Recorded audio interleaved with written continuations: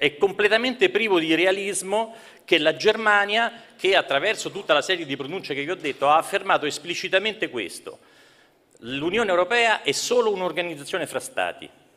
Come tale non potrà mai sfociare in un'unione politica, federale, di bilancio, eccetera, eccetera, perché questo non è consentito dalla nostra Costituzione.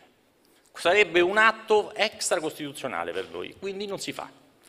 Quindi non credo che ci sia qualcuno che oggi può imporre ai tedeschi di mutare addirittura la loro Costituzione per poter mutare un atteggiamento negoziale riguardo a modifiche che loro vedono giustamente come a sé sfavorevoli e che sono modifiche delle norme che loro hanno considerato essenziali per entrare nel trattato. Ve ne cito tre, che spesso sono trascurate, sono gli articoli 123, 124 e 125, che non dicono che non si possa fare che, che non si possa fare soltanto un'Europa un solidale con il bilancio federale, non dicono soltanto questo, dicono che è vietato, è il, è il divieto più assoluto, eh, eh, specificato in tre lunghe norme, sulla base del quale la Germania non avrebbe neanche aperto il negoziato per entrare in Europa.